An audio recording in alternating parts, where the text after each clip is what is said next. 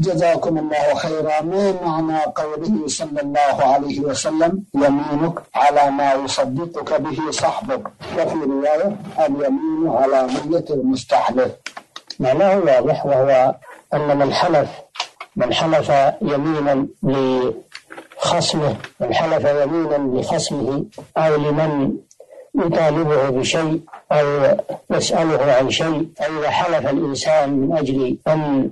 يقطع الخصومة أو يبعد الاتهام عن نفسه فإن اليمين على ما يصدقه به صاحبه لا على ما ينويه هو بقلبه لأنه حينئذ يكون ظالما إذا حلف لخصمه ولم يتهمه بشيء أو يحمله شيئا وحلف على نفيه من أجل تبرئة ذمته وهو لم يصدق في هذه اليمين ويريد خلاف ظاهرها فإنه يكون آثما لأن اليمين في هذه الحالة على ما يصدقه به صاحبه لا على ما نراه هو فيكون هذا من الكذب والظلم الذي يؤاخذ عليه الإنسان نعم